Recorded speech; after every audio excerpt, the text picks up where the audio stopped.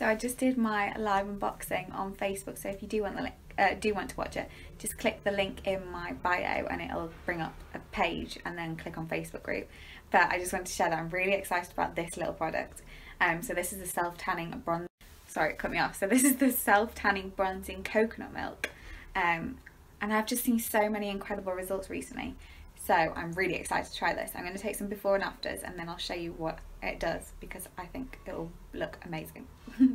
In other words, I'm really excited. So stay tuned for pictures coming soon and let me know if you want anything. Bye.